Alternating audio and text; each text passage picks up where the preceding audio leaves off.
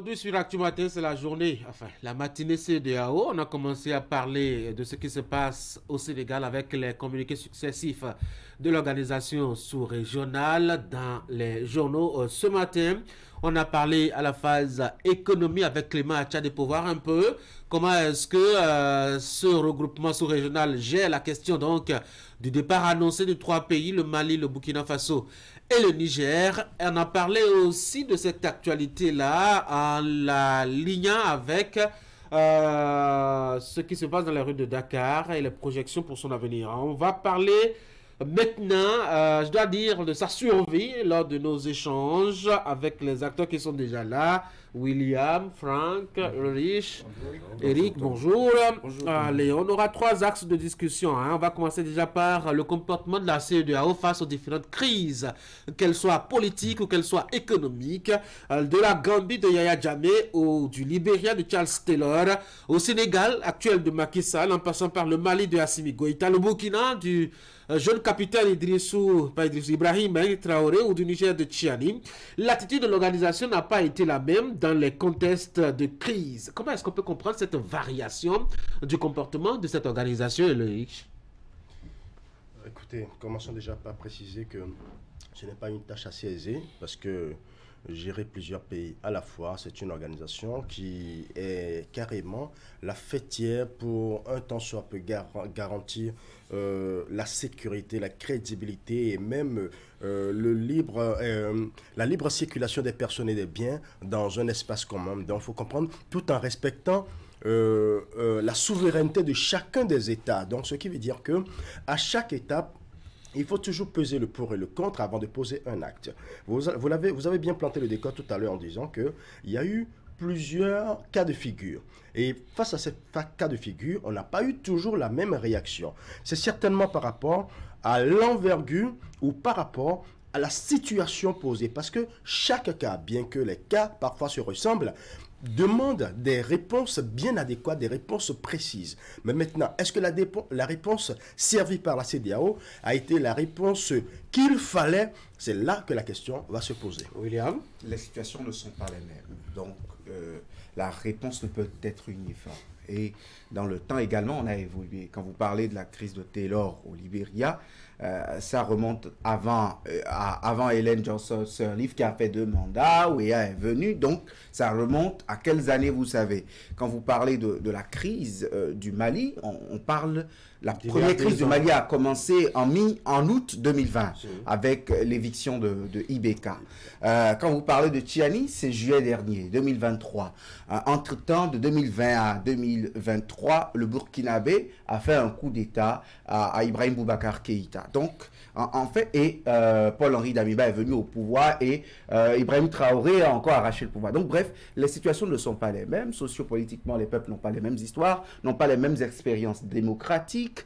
Donc, c'est normal que nous n'attendions pas euh, une harmonie en cœur en, termes de réponse de, la CE2AO. Par contre, on voit euh, la verve, la hargne, toute la fougue avec laquelle on, dénonce ou on, s'insurge contre certaines situations varier euh, par rapport à des situations similaires, des, des situations qui, ont, des points de ressemblance. On, Par exemple, euh, la fin d'intervention de l'ECOMOG, intervenir assez rapidement au Libéria pour calmer un peu les ardeurs, même si ça n'a pas en tant que tel réduit, je dois dire, les conséquences de, de, la crise sur, je dois dire, les hommes là-bas. On a vu la réactivité, le prompt euh, la prompte réaction de notre compatriote Père à son âme face justement à la crise gambienne qui a fait abdiquer quand même Yaya Jamais dans le temps. Euh, il y a quand même à des moments donnés, je dois dire, une réaction qui, euh, de la CEDA qui impose parfois l'autre, mais parfois dans certaines circonstances, on a des communiqués timorés. Justement, parce que cette réaction, parfois hardie, euh, est très critiqué et parce que la CEDEAO outrepasse parfois ses prérogatives, parce que la souveraineté des États est remise en cause la plupart du temps. Ah, vous avez parlé de De la Guinée-Bissau De la Guinée-Bissau, par exemple. Vous avez parlé également du cas, Gambien avec Yaya Jammeh en, 2017, si j'ai bonne mémoire. Là-dessus, tout n'était pas parfait. Nous ne refaisons pas les procès des vieilles choses, mais parlons des choses actuelles. Quand vous lisez le communiqué, par exemple, par rapport au Sénégal, mm. quelque part, vous vous demandez si la CEDEAO ne cautionne pas ce que Macky Sall a fait.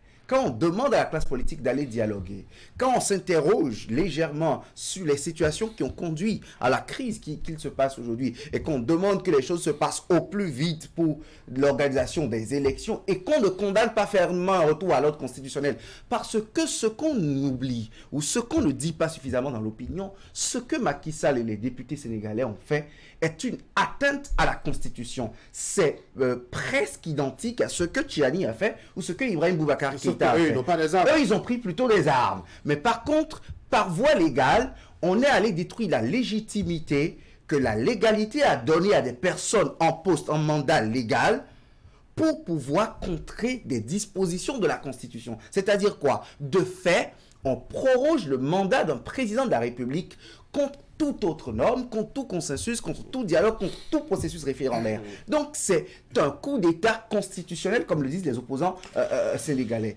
Quand on lit un communiqué comme ça, mm. à propos d'une crise de cette ampleur, pour laquelle on a déjà eu des morts par le passé, il y a du deux poids, deux mesures. Faut-il le, retenir hein? La CEDA est revenue, en tout cas avec un deuxième communiqué, qui, ma foi, a un temps un peu plus, un peu plus euh, difficile que le premier. Oui. Ce que nous saluons déjà. Euh, c'est vrai que les crises ne se ressemblent pas. On ne peut pas non plus demander à la CDAO de pouvoir euh, traiter les situations de la même façon. Mais on ne demande pas non plus à la CDAO d'inventer des formes de gestion de crise autres que ce que les tests ont prévu. Mm. Et ce qui fait que, quand on questionne un peu le parcours de la CDAO, on se rend compte que vous avez euh, des, crises où euh, euh, la gestion se fait en fonction de la tête du client. C'est Alain Foucault qui posait cette question au capitaine Traoré de Burkina Faso sur sa façon de voir un peu comment est-ce que la CDAO gère les crises. Il répondait la CDAO fonctionne un peu à la tête du client. Et ça crée un déséquilibre. Parfois, on, se pose la question, mais comment une organisation euh, qui parle d'intégration euh, et tout ça, euh, en son sein, essaye de ne pas équilibrer la gestion des crises? On a bien le sentiment que quand ça se passe dans, tel autre pays, le, discours est, plutôt diplomatique. Quand ça se passe ailleurs, le temps est ferme et puis ça évolue comme ça. Après, dans son parcours aussi, on a le sentiment que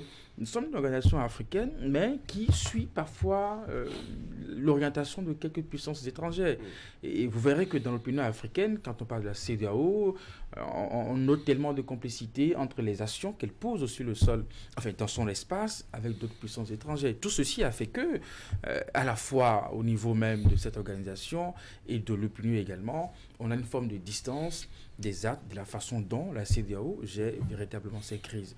Et donc, ce qui fait qu'aujourd'hui, euh, quand vous observez les cas du Mali, du Burkina Faso, du Niger, du Sénégal et puis tout ça, on se demande si la CDAO elle-même, euh, elle, ne crée pas, hein, euh, comment on dit, à, travers sa façon de gérer les crises, les critiques, n'est-ce pas, qu'elle qu nourrit aujourd'hui.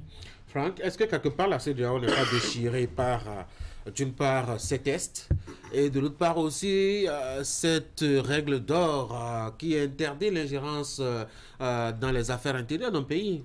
C'est comme, disons, on veut d'une chose et, son contraire en même temps. Depuis, disons, mai, 1975 où la, la CEDEAO est créée, je pense que les tests qui avaient été élaborés dans le temps sont dépassés aujourd'hui.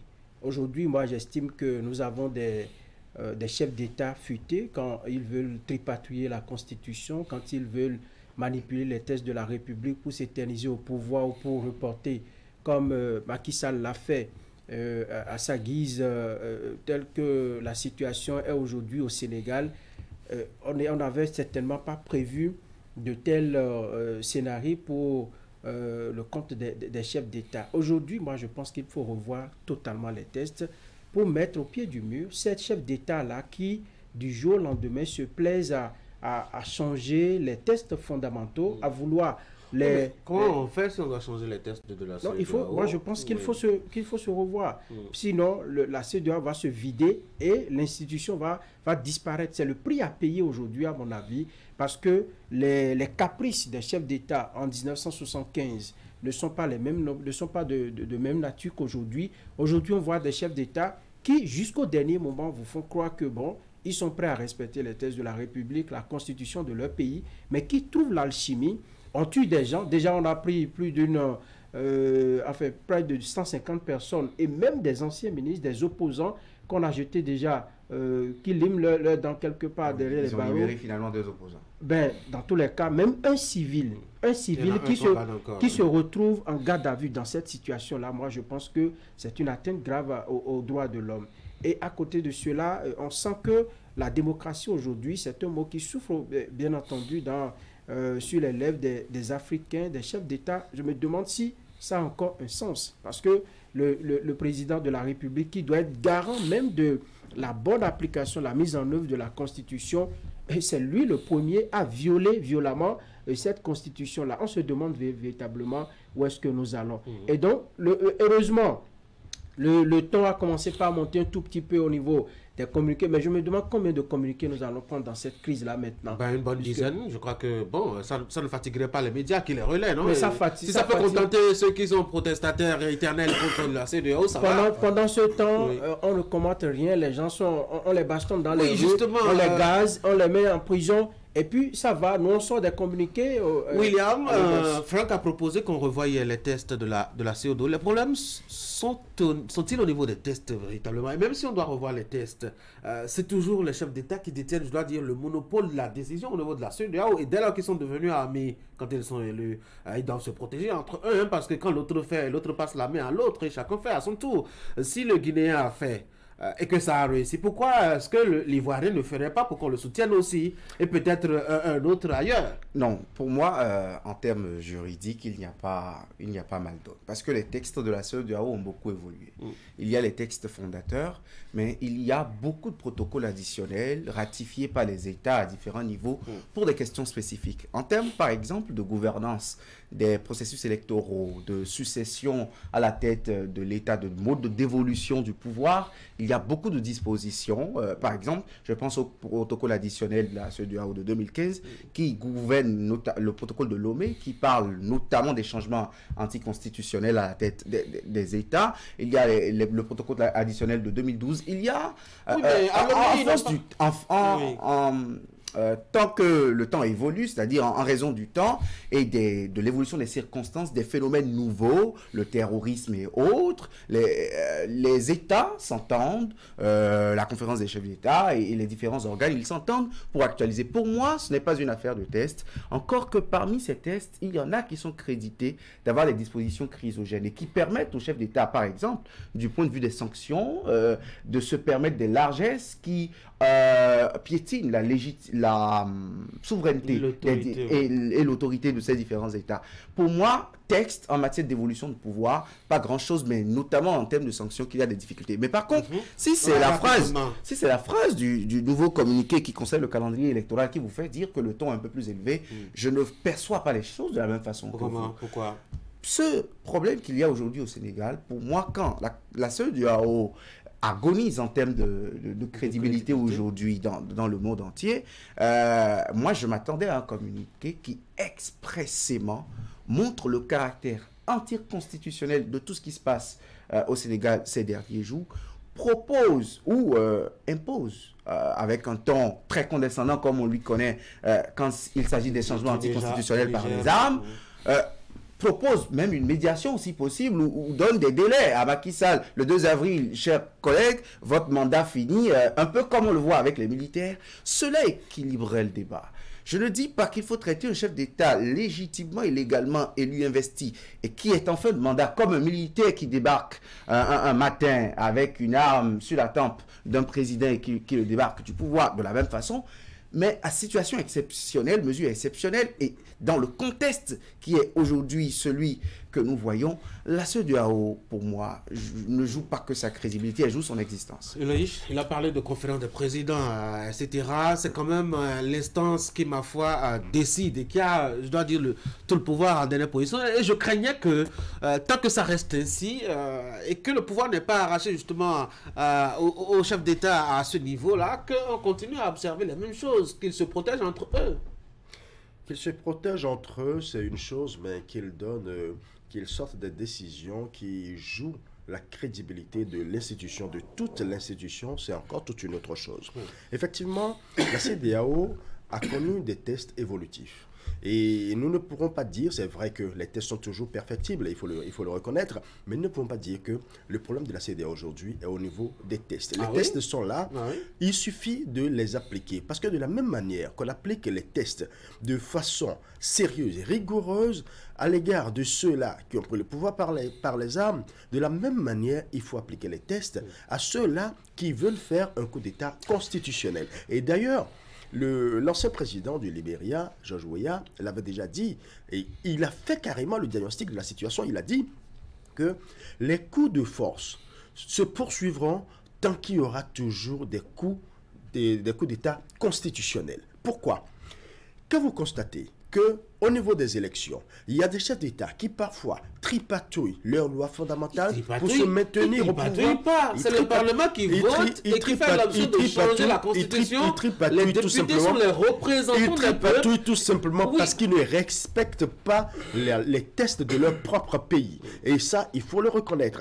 Donc, quand ils quand ils quand- ils s'amusent à jouer à ce jeu, déjà, ils mettent la démocratie de leur pays à mal. Et par conséquent, la démocratie de toute la sous-région à mal. Et la CDAO se retrouve souvent dans une posture de deux poids, deux mesures, avec des décisions qui ne respectent pas carrément l'ampleur de la situation. Donc, chaque fois qu'aujourd'hui, la CDAO veut prendre des décisions, il faut que la CDAO soit aussi sévère et aussi rigoureuse envers ceux-là qui ne respectent pas les tests de leur pays autant qu'elle l'est avec ceux-là qui viennent par les hommes. Parce qu'en réalité, tel que l'ancien président du Libéria l'a dit, il y a des causes qui produisent des effets. Et quand on ne commence pas par sanctionner les causes, on aura toujours les mêmes effets.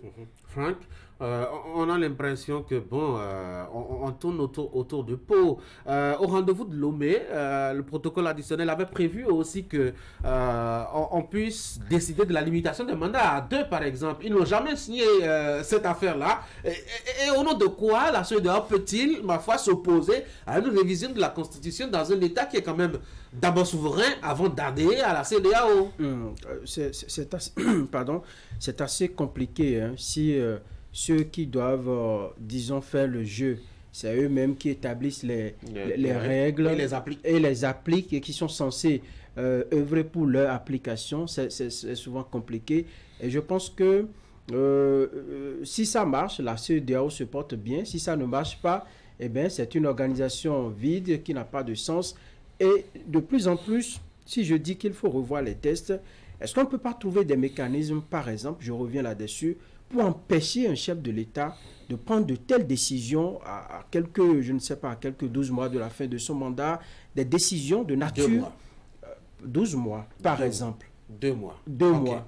12 non, mois, 12 d'accord. mois, parce que vous avez vu, D'accord. euh, euh, 12 mois pour être plus Oui, préventif. mais on a, on prévu un truc de 6 mois, ils l'ont violé violemment. C'est pas les 12 qui les inquiéterait. Ben, moi, moi, je- il faut trouver le mécanisme. Sinon, à tout, tout le temps, les, les chefs d'État qui agissent, vous allez voir, ils s'appuient sur les tests. hein. Ils vont dire dans notre pays, bon, le, le chef de l'État a examiné la situation, la situation est catastrophique, les opposants sont en train de crier, il faut, il faut rétablir tout le monde dans ses droits. Comme l'a fait Macky Sall, il a reçu quelques opposants qui ont été éliminés de la course et ils ont échangé. Quelques jours après, il dit, bon, il faut donner toutes les chances à, à- à tout le monde et donc il faut re- reporter et c'est lui-même qui décide du temps qu'il faut faire pour régler tout ça, pour aplanir les divergences. Donc. Non, mais on sait- Il a pris- on il a pris un acte avant le Parlement. Allez, le on va voir. juste au, euh, plan, au plan politique, ma foi, c'est compliqué, en tout cas pour, euh, si vous pour la CEDEAO. de dire un, un mot après. Rapidement. En fait, le, les mécanismes, euh, les organisations d'intégration régionale et sous-régionale n'ont pas euh, tous les moyens pour discipliner les États. Les États sont souverains et dans le système international, un État, ce n'est pas comme un individu. Vous voyez, toute l'Union européenne, malgré toute la, beauté de l'Europe et tout ce qu'on connaît à l'Europe, l'Union européenne a des, États indisciplinés, comme la Hongrie et, bien d'autres. Donc, en fait, on n'a pas au niveau sous-régional ou même régional tous les moyens de discipliner les États co- comme des militaires dans un camp. Mais par contre, chaque État à son niveau peut faire preuve de bonne foi. Et quand on est le Sénégal, quand on est ce label démocratique, on peut du, du haut de, de, De la notoriété, de ses expériences, euh, renaître de ses cendres. Bon, allez, parlons de des notre- chefs d'État aussi versatiles. On ne peut pas parler de bonne foi. Mm. Euh, ils, vont, ils vont vous dire aujourd'hui, ils vont jurer ah, sur la sur, euh, en tout cas, oui, sur, sur la Bible ou sur le Coran pour dire euh, oh, je ne reviens pas, je ne fais pas si je, je vais respecter. Vous voyez, ils lèvent la main quand ils veulent prêter serment. au nom de nos ancêtres, au nom de, de ci, de ça, mais deux jours, trois jours après, c'est eux qui violent violemment ce qu'eux, ils ont dit devant tout Parlons de la CEDEAO côté économie et intégration régionale. C'est quand même, même si c'est difficile un peu au plan politique, c'est quand même le champ sur lequel on, on salue quand même la CEDEAO, Eric. Oui, absolument. Et je pense que tout ceci est mis en difficulté parce que ce qui peut permettre une bonne intégration, une stabilité économique, c'est vraiment une paix, un fonctionnement vraiment d'une démocratie à l'intérieur de ces États. Et quand on évoquait un peu les problèmes au niveau des tests, il faut aussi voir au niveau de chaque membre toutes les fois que nous aurons à la tête de nos États des, des chefs d'État qui trouveront toujours l'intelligence de mettre en difficulté les démocraties, on aura une organisation instable déséquilibrés, puisque vous l'avez dit, ce sont les mêmes qui sont également de l'autre côté. Après, vous avez des questions d'amitié, ou parfois vous vous demandez, mais ok d'accord, est-ce qu'on peut se mettre ensemble et puis condamner notre frère qui est de l'autre côté?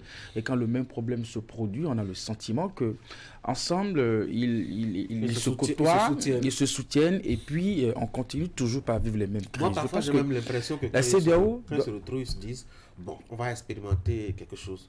Toi, tu commences, on, va voir ce que ça va donner. Oui. Et, et, c'est là aussi, on dit bon, allez-y, on, va. On n'est peut-être pas loin de ça parce que vous voyez, euh, ce qu'on qu'on observe aujourd'hui au, Sénégal, c'est un cas un peu intéressant. Nous, sommes dans un report. Euh, et ça peut se répercuter également dans d'autres États, un peu l'inquiétude que nous avons au niveau des, des, des, militaires qui prennent le pouvoir. Et pour finir, je pense que la CEDEAO doit pouvoir vraiment apprendre de ses erreurs et profiter de ces crises pour se refaire une nouvelle image au niveau de l'opinion. Autrement, c'est la première fois de son histoire que trois États disparaissent comme ça avec autant de facilité. Voilà, et a montré le chemin, hein, elle n'en est pas Non, de façon, de façon aussi euh, bloquée simultanément et puis avec un discours fort, mm. critique. Et un contexte qui s'y prête. Oui, euh, le côté économie, ça va Côté, intégration, intégration, économie, on peut dire que ce n'est pas mal, mais avec euh, le départ de trois États qui ne sont pas des moindres, quand on parle, quand on parle du Niger, euh, du, Niger du, du, Burkina Faso, du Mali, qui ne sont pas des moindres, qui sont des pays sahéliens, qui utilisent aussi les ports des, des, autres pays, on doit, on doit se poser la question de savoir est-ce qu'aujourd'hui, la crédibilité de la CDAO n'est pas en train d'entamer son niveau économique son niveau financier. C'est ce qui est en train de se passer et c'est ce que nous allons aussi remarquer dans les prochains jours. Regardez par exemple les frontières entre le Niger et le Bénin qui sont fermées depuis plusieurs années, depuis plusieurs mois, pardon. Quand vous observez ce qui, le phénomène qui se passe aujourd'hui, je prends juste ce cas-là, le phénomène qui se passe aujourd'hui à Malanville, vous constatez que la vie est devenue terne parce qu'il y a beaucoup de Béninois qui travaillaient à Gaïa, il y a beaucoup de Nigériens qui viennent travailler à Malanville et le grand marché de, de, Malanville qui s'animait à fond et aujourd'hui tout est terne. Quand vous allez à partir de Candy, vous constatez que il y a pratiquement plus d'activité. Ce n'est qu'un échantillon parmi tant d'autres. Vous savez, quand il y a un problème sociopolitique, ça rejaillit nécessairement et, indubitablement sur l'économie de tous les pays de la sous-région. Est-ce qu'il faut s'inquiéter pour son avenir, euh, Franck? Euh, William, pardon J'ai bien envie de dire deux mots sur l'économie. William, oui. Euh, vous savez, pour moi, s'il y a un pas qui est véritablement fait dans la CEDEAO, c'est l'intégration économique. Ah Parce que nous n'avons pas encore réussi à avoir des frontières très étanches. Nous sommes restés un peu sur les, sur les aspects coloniaux. Nos frontières, elles sont poreuses, elles sont socioculturelles. Euh, les langues suffisent pour lever toutes les barrières et entrer entre le Bénin et le Togo ou euh, entre Ifani et le Nigeria. Ça passe. Et c'est pareil presque dans, dans toute la sous-région. Aussi, euh, on a des mécanismes euh, d'intégration monétaire. Ça n'est pas un travail en tant que tel qui a été fait par la CEDEAO, c'est tout naturel. Non, mais la CEDEAO a préservé cela. Ce que des organisations d'intégration sous-régionale sur ce même continent n'ont pas, pas pu faire. Euh, et euh, le fait qu'il y ait l'UEMOA qui regroupe des pays francophones et un pays lusophone, cela a facilité, et partageant la même monnaie, cette intégration euh, monétaire et financière favorise aussi un peu l'intégration économique. Là-dessus, je pense que c'est intéressant. Souvenez-vous, sous la COVID-19, des frontières étaient officiellement fermées, mais l'activité économique se déroulait encore entre des États. Mais il y a eu des couacs, les crises politiques notamment. Quand un pays de la CEDEAO est obligé de sortir un communiqué pour dire que son port ne peut plus aujourd'hui euh, prendre des produits à destination de notre pays, alors que nous parlons de libre circulation des personnes et des biens en raison d'une crise politique. Je le rappelle, il y a eu un contexte qui, a amené à ce communiqué. Ça voudra dire que, d'une manière ou d'une autre, ces crises ont pu avoir euh, un, impact sur cette intégration économique qui se faisait, euh, on ne peut plus difficilement. Maintenant, quand j'en viens à, la question de euh, la question de, de l'avenir de, de, la CEDEAO. Moi, je pense qu'elle est à refaire. Et la doctrine, la, la, science, que ce soit la science politique ou le droit ou toutes les sciences de l'État, ont on, fait d'énormes travaux sur l'avenir de la CEDEAO. L'avenir de la CEDEAO est hypothéqué par les événements actuels. Et euh, euh, aucun devin, malgré toute, toute sa capacité de prédiction, ne peut aujourd'hui jurer. Qu'est-ce qu'il faut revoir alors? Pour moi, Très belle question, Franck. Moi, je pense aujourd'hui dans, dans, la CEDEAO qu'il faut hum, davantage impliquer le Parlement de la CEDEAO. Moi, je pense que c'est une instance qu'il faut davantage faire fonctionner. Vous direz ah, que à l'intérieur des États, les parlements fonctionnent, mais que les, gouvernants arrivent à faire passer davantage les décisions. Mais je pense qu'avec un Parlement un peu plus fort, comme le Parlement européen, euh, aux côtés de la Commission européenne ou de toutes les instances de l'Union européenne, euh, on pourrait davantage euh, déposséder la conférence des, chefs d'État et de gouvernement de, certains pouvoirs, de certains pouvoirs qui reviendraient d'un point de vue un peu plus légitime à des élus parlementaires émanant des États. Mm-hmm. Peut-être que c'est une expérience qui marcherait. Maintenant, moi, je parlerai également d'indépendance financière. Parce que la dépendance financière vis-à-vis de certaines puissances occidentales chosifie, c'est le mot que je trouve, et je trouve qu'il est bien placé, chosifie la CEDEAO par rapport à cette question, qui a des positions extrêmement versatiles, c'est de la renégarcie de haut niveau, et quand c'est comme ça pour moi, ça ne ça n'avantage pas. Parce que vous alliez, vous alliez sur d'autres planètes pour nous amener des hommes nouveaux. Sinon, le, Parlement dont vous parlez, je ne sais pas, je ne sais vraiment, je suis sceptique, je ne sais pas si ça va fonctionner tel que vous, vous l'espérez, William. Euh, vous avez euh, aujourd'hui euh, la conférence des chefs d'État qui prend des décisions. Parfois c'est respecté, parfois c'est pas respecté. Dans la majorité des cas, c'est pas respecté. Et même lorsque on voit un peu la pratique démocratique telle qu'elle se fait aujourd'hui en Afrique, si vous amenez même des parlementaires dans cette instance-là, je me demande si des, décisions qui oui, sont... William parle de la CEDEAO existe. William je demande juste le Parlement plus de puissance. William parle comme si on ne sait pas comment est-ce que le Parlement euh, se comporte euh, au niveau des, au sein des, des, États. Vous avez vu ce qui se passe actuellement au Sénégal. Et donc ce n'est pas euh, Parlement... lorsque, lorsque vous comparez, vous voulez comparer par exemple le Parlement de la CEDEAO à, au Parlement de l'Union, je ne sais pas, quelque part dans les agones, euh, ce n'est pas les mêmes choses. Les gens, ils, réfléchissent, les gens ont à cœur le développement de leur pays là-bas. Ils ne votent pas les lois la nuit. Non, voilà, ils ne votent pas les, lois la nuit. Et je me demande si véritablement euh, une, telle, solution va marcher. Euh, finalement, finalement est-ce qu'il ne faudrait pas, je ne sais pas, dissoudre la CEDEAO parce que de plus en plus, oui, de, plus en plus, de plus en plus, la, la CEDEAO suit des revers on n'avance pas lorsqu'il s'agit des crises. Alors que ça fait partie des vocations de la CEDEAO de régler les crises quand ça, survient sur le continent.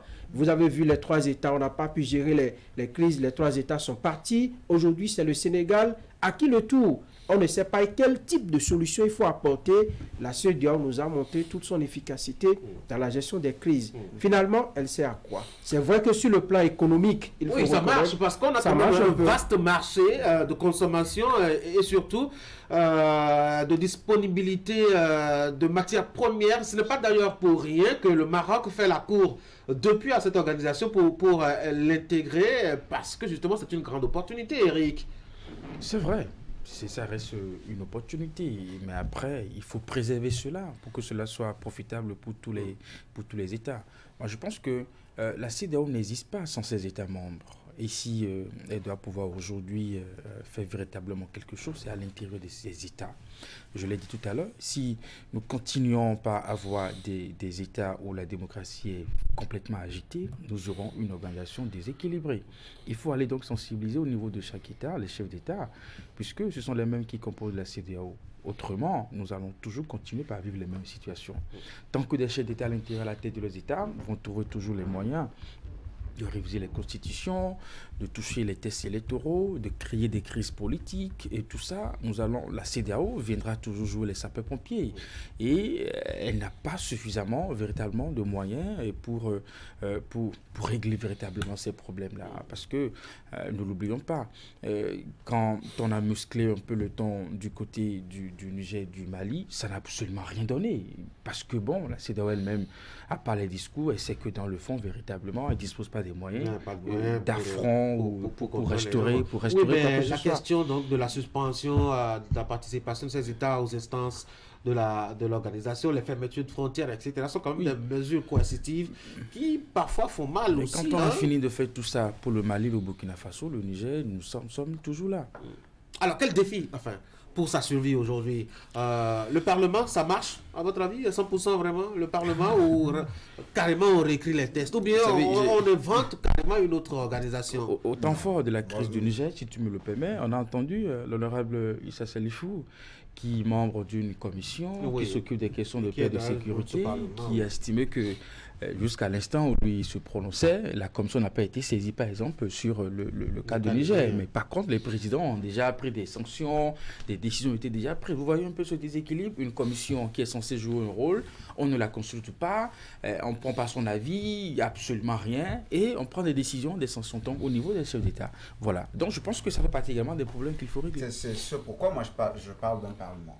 Euh, d'un Parlement un peu plus puissant. Le Parlement un peu plus puissant est un filtre pour les sanctions, par exemple. Vous savez, du point de vue du droit international humanitaire, des sanctions précises de, des États de la CEDEAO sur certains des États membres sont inimaginables, ne respectent aucune norme. On, empêche par exemple un couloir humanitaire après une fermeture de frontière alors que des gens croupissent derrière une frontière et vous parlez d'intégration sous-régionale et vous avez signé une charte, vous avez signé un protocole. Cela ne rime à rien en fait. Et moi je, pense que cela va humaniser les rapports entre les différents gouvernants.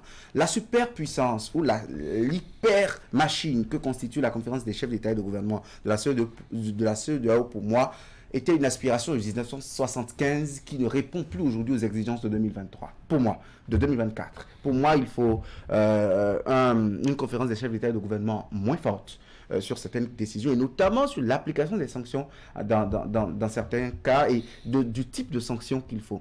Notamment également dans l'intégration économique, je pense qu'il faut un pas vers un peu plus d'effectivité. Pourquoi pas la monnaie commune? Je pense que beaucoup de choses pour, nous divisent encore et pourraient mieux nous unir si nous y allions euh, dans, dans, dans, la CEDEAO. Et si les projets ne manquent pas. Qu'est-ce qui bloque Ceux qui ont intérêt à, manipuler la CEDEAO à, à, la guise pour des fins politiques au moment où sur des questions substantielles? Parce que ne l'oublions pas, hein, c'est au fil du temps que la CEDEAO est devenue un instrument d'intégration sous-régionale à, à, à, visée politique. Au départ, l'ambition était purement et simplement économique parce que du point de vue historique, tous ces territoires avaient euh, un passé économique, euh, euh, sociologique, aussi. Il n'y avait pas de frontières en ces territoires. C'était l'ambition au départ, en fait.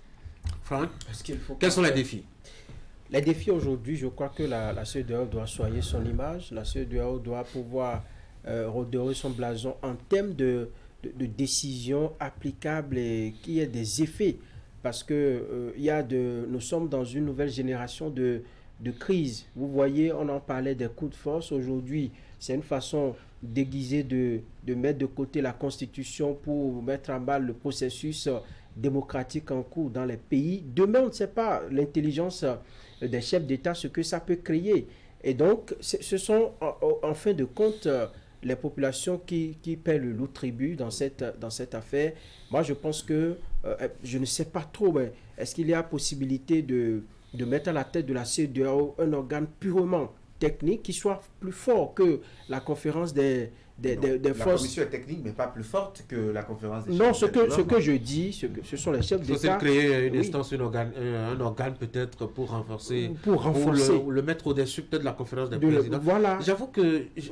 bon, c'est vrai que c'est des présidents, sinon je ne vois pas la pertinence de leur poids sur, sur l'organisation quand on sait que c'est pour une intégration socio-économique, euh, notamment dans la, dans, la sous-région. C'est pourquoi c'est d'ailleurs devenu très politique. Parce que c'est ceux qui créent les crises qui sont alors qui veulent encore régler ces crises-là. qui sont membres de cette qui sont, qui sont membres. Il y a une certaine euh, euh, un, Parce que- un paradoxe que, que, que je n'arrive pas à comprendre. quand, quand- quand avec la crise du Niger, vous avez vu l'interview de Macky Sall au Nigeria? Il y avait à côté de lui Patrice Talon et puis, puis, tout ça. Bon, au- aujourd'hui, voilà la situation dans laquelle nous nous retrouvons. Bon, quel est ce président? C'est Ouattara maintenant qui va dire quoi à Macky Sall? Je ne sais pas. C'est c'est- Ouais. comment ça va Oui, se oui, passer? il peut dire, Non, euh, puisque- monsieur, revenez à l'ordre constitutionnel, etc. Très, très mal. Mais Donc, lui- Macky- Macky va quand- lui rappeler peut-être oui, son son affaire de troisième son- mandat. voilà, quand Non, lui- Et quelqu'un Non, peut dire, bon, il est bon, le moins Mais quand placé il est- encore. Il est- moins placé non, encore. C'est le doyen. Non, Fort, C'est le jeune doyen. C'est le jeune doyen. Il peut conseiller les plus, les plus jeunes. Sauf qu'on va lui rappeler qu'il y a longtemps qu'on a fait Lui-même, un- les rues, les- voilà, les rues de la Côte d'Ivoire. Quels sont les défis de, de la CDAO aujourd'hui pour vraiment renaître? Ou carrément faut-il ranger cette affaire-là et, et, aller vaquer à autre chose Non, déjà tout de suite, euh, n'allons pas peindre toute la page en noir. On sait que sur le plan économique, la CDAO a fait un gros travail. Aujourd'hui, en termes de libre circulation des personnes et des biens, quand vous observez comment et le flux économique euh, se, développe entre les États membres de l'Afrique de, de l'Ouest, ça fait beaucoup plus euh, plaisir et on sent que ces pays sont vraiment intégrés, surtout déjà de par leur culture, sur le plan économique et autres. Maintenant, le véritable problème se situe au niveau de la gouvernance des chefs d'État. Moi, je pense qu'au-delà des, défis, euh, il faut d'abord commencer par parler d'éthique. C'est vrai qu'en politique, on ne voit pas que l'éthique, mais ici, il faut beaucoup plus parler d'éthique. En ce sens que quelqu'un l'a dit ici, d'ailleurs, sur le plateau, que ce sont la même personne qui crée les problèmes qui se retrouve en train de les corriger. Nous avons vu par le passé quelqu'un qui a forcé un troisième mandat et avec le sang versé de, sa population. Nous avons vu, par, nous avons vu également d'autres qui n'ont pas respecté leur constitution et ils se sont vus éjectés par des militaires. Nous voyons aujourd'hui un autre qui se, qui se, qui s'accorde une rallonge de mandat euh, de façon plus ou moins constitutionnelle entre griffes en mettant, en sortant les, députés opposants du Parlement pour que ces députés à lui votent justement cette rallonge. Je pense que nous avons du pain sur la planche et sur ce point, effectivement, il faudra voir dans quelle mesure accorder un peu plus de pouvoir au Parlement de, la sous-région. Tout simplement parce que c'est vrai que les chefs d'État représentent aussi le, le peuple, mais les parlementaires représentent encore plus le peuple. Ils sont beaucoup plus au fait de ce que vivent les peuples à l'intérieur et à la base. Donc ce qui veut dire que même si on sait déjà que les parlements fonctionnent d'une certaine manière, parfois guidés par les, les- le, dé- des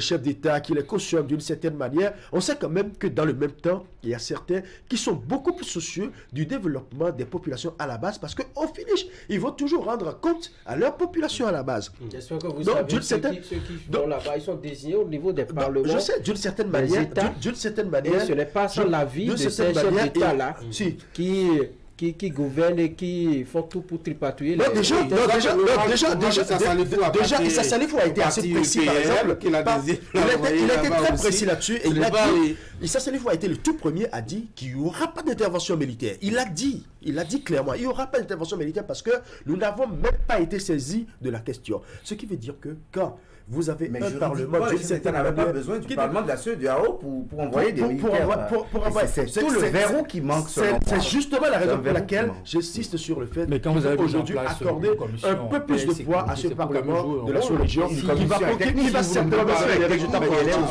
On va permettre à Aurélie Oui. de conclure. Donc, si on, donne, si on donne beaucoup plus de prérogatives à ce Parlement, je pense qu'il va pouvoir donner beaucoup plus de résultats positifs parce que, au-delà de tout, nous le voyons que souvent que les chefs d'État qui sèment à la fois le- les grains de discorde et qui, à la fin, se retrouvent entre eux et se disent écoutez, euh, nous n'accordons pas, nous ne pouvons pas apprécier ce qui se passe parce que là, les décisions de la CDAO, telles que nous les voyons aujourd'hui, ne sont pas de nature à encourager ceux-là qui devraient faire confiance à la CDAO. Vraiment, c'est là que se pose le- tout le problème. On va fermer ce moment de discussion, euh, chers amis. Merci beaucoup d'y avoir contribué. Je rappelle qu'on a parlé de la CEDEAO hein, et de son avenir avec euh, le constat tout d'horizon de ce qu'elle vit actuellement, côté politique et côté économico-social. Bonne journée à vous. Merci. Mesdames et messieurs, c'est la fin d'Actu. Merci d'avoir été là. Passez une très bonne journée.